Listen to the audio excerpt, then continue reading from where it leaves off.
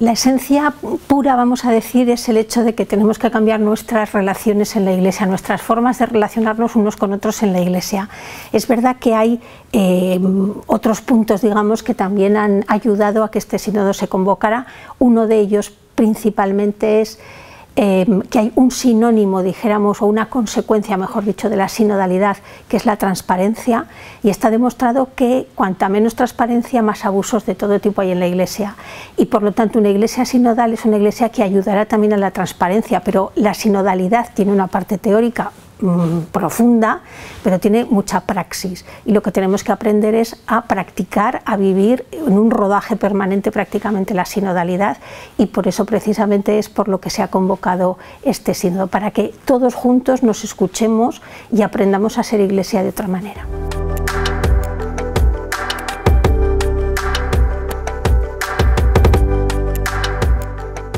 A ver, excluidos de la Iglesia y habría que matizar excluidos en la Iglesia, porque se dan las, las dos realidades. Los excluidos de la Iglesia son aquellos a los que nosotros mismos muy alegremente hemos sacado a los márgenes, los hemos dejado en los márgenes, los hemos dejado en esas periferias que habla Francisco e incluso hay un paso más allá que son las fronteras. Los márgenes están situados, digamos, son unas categorías que parecen ser inamovibles, ¿no? que son los pobres, los pobres eh, económicos, los migrantes, las mujeres y los jóvenes. Y luego están esas periferias, que son esas personas que han vivido unas experiencias eh,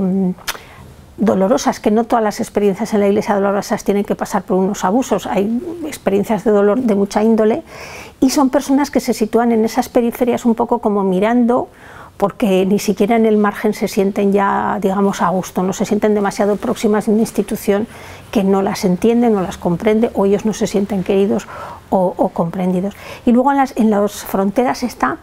una categoría que pasamos mucho, no nos damos cuenta que existe, que son los intelectuales. Muchos intelectuales que son creyentes, que no saben que son creyentes, pero que son creyentes, y muchos intelectuales que se saben creyentes, pero para quienes el mensaje de la Iglesia no les llega en el tono, en la forma y en el lenguaje adecuados. Entonces hay como tres categorías fuertemente marcadas y luego hay unos excluidos dentro de la propia iglesia que son parte de esas personas de, ese margen primero, de esa primera línea que es el margen. A mí lo de dentro y fuera no me gusta, pero tenemos que hablar de alguna manera, ¿no? Pero eh, titubean para entrar y se sienten rechazados porque, vamos a decir, los de dentro no consideramos que tengamos nada que escucharles ni nada que aprender de ellos.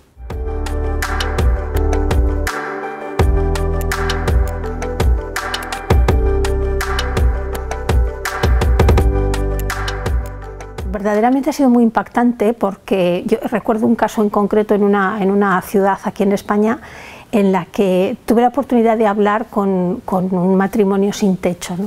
Entonces él era más escueto, vamos a decir, pero ella se explayó mucho en las explicaciones y dijo una frase de esas que se quedan marcadas dentro. Dijo, sí, hay muchas personas en la iglesia que nos ayudan, pero no nos quieren. Es decir, no se trata solo de que la ayuda que podamos brindar sea efectiva, que tiene que serlo, sino que también tenga su dosis de afectividad, ¿no? porque estamos tratando con personas. Los jóvenes no se sienten escuchados, no se sienten identificados con una iglesia que los prejuzga realmente sin haber hablado con ellos. Las mujeres es lo mismo, se habla de nosotras pero no con nosotras y los pobres materiales son como personas que por el mero hecho de ser pobres parece ser que no tienen nada que decirnos, cuando al contrario su propia experiencia nos podría servir mucho en la propia iglesia para aprender a ser sobre todo más humildes y para saber eh, integrar y ser una iglesia realmente de acogida.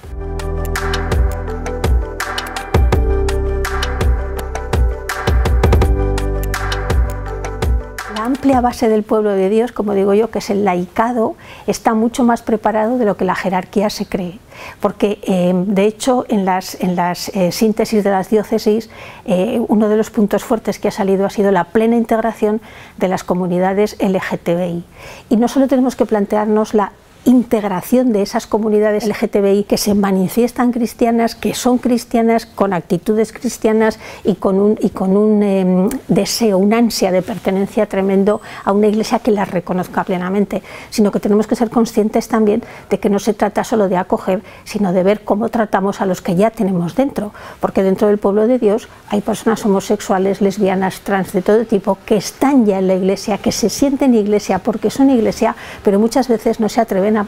manifestar, digamos, su orientación sexual cosa que tampoco es obligatoria, pero sí es cierto que muchas veces serviría como cauce para poder integrar a otras personas que se quieren, que quieren una pertenencia y tienen una ansia de pertenencia realmente importante.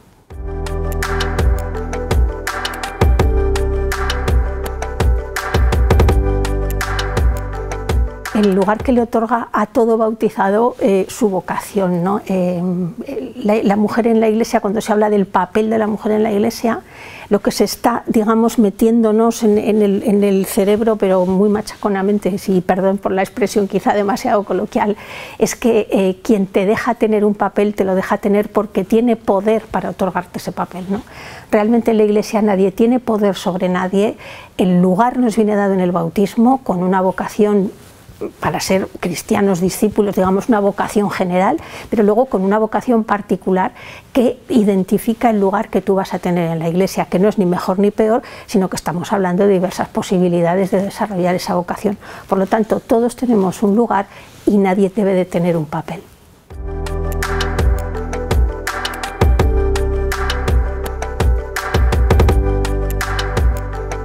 Es una reflexión que mm, yo creo que sí que está saliendo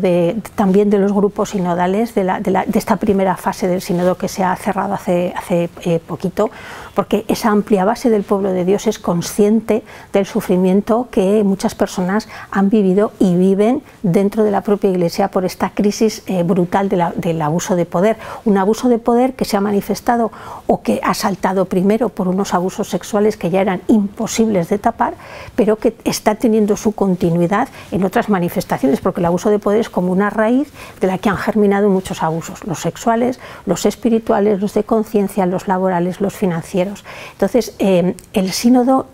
no es, no es, una cuestión menor que Francisco haya convocado un sínodo precisamente sobre la sinodalidad en un momento en el que otra vez toda la problemática del abuso de poder está, por así decir, encima de la mesa, sino porque está demostrado que la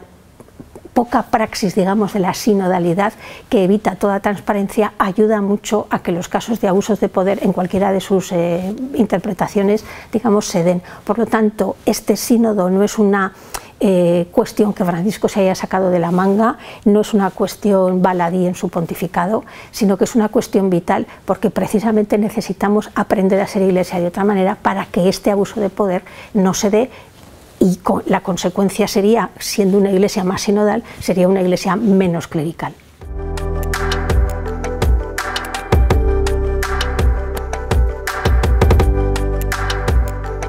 Realmente lo que tenemos que ser conscientes es que ahora ya el laicado sobre todo ya no va a poder decir es que los obispos no o es que los párrocos no. Es decir, todos hemos descubierto que tenemos capacidad para pensar y capacidad para hablar y decir cosas importantes e interesantes. Por lo tanto, generar frustración puede que genere porque bueno, Francisco acaba de añadirle un año más a este, a este sínodo, significa que no va a acabar en 2023, sino en octubre de 2024, y eso va a suponer que mucha gente esté esperando que en octubre de 2024 la Iglesia sea sinodal. No, el proceso sinodal es eso, un proceso. Cada generación irá añadiendo, según sus circunstancias históricas, socioeconómicas, socioculturales, añadiendo eh, cuestiones que a nosotros en este momento no nos surgen, pero que nadie piense que ahora tenemos que descargar la en que los demás hagan, porque la responsabilidad ya es de todos, tenemos ya muy claro que todos somos iglesia y por lo tanto las frustraciones vendrán si cada uno volvemos a decir que lo haga otro, esto no va a cambiar, no, nuestra propia implicación y nuestra propia decisión será el motor del cambio.